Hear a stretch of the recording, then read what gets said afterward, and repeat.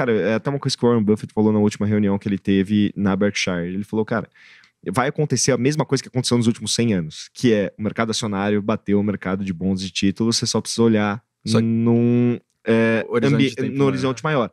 E quando eu falo mercado de ações, falo o mercado de renda variável de uma forma geral. Isso inclui todos os ativos de renda variável, inclusive cripto. E se você olhar no curto prazo, cripto bate ações.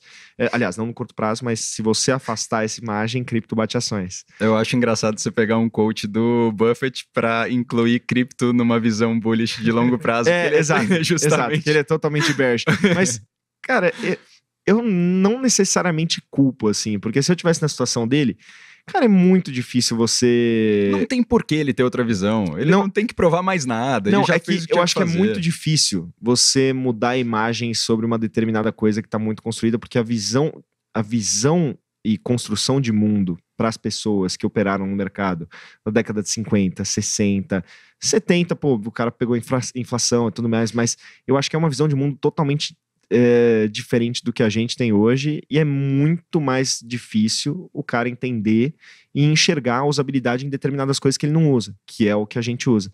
Eu vi até um gestor falando sobre isso, cara, queria lembrar o nome dele, mas ele, ele comentou assim, ele falou, quando eu comecei a investir, para mim foi muito mais fácil escolher Pix como é, Apple, Netflix, não sei o quê, porque ele falou, naquela época eu era o usuário, e eu era o cara que realmente comecei a adotar aquelas tecnologias e ver valor agregado e falar, cara, eu vou investir nessas empresas.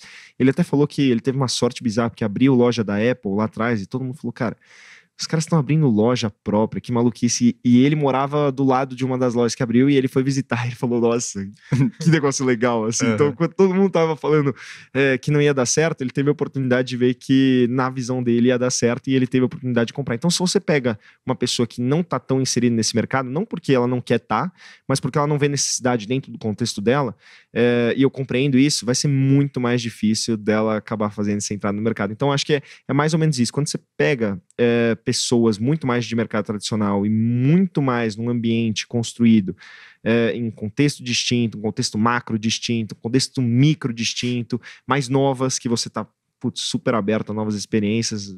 Vídeo Eric começou a jogar jogo de Web3 e começou a botar dinheiro no negócio, recebeu um airdrop. E, inclusive, que você comentou no último podcast que você é. perdeu uma parte dele. Deixei de ganhar.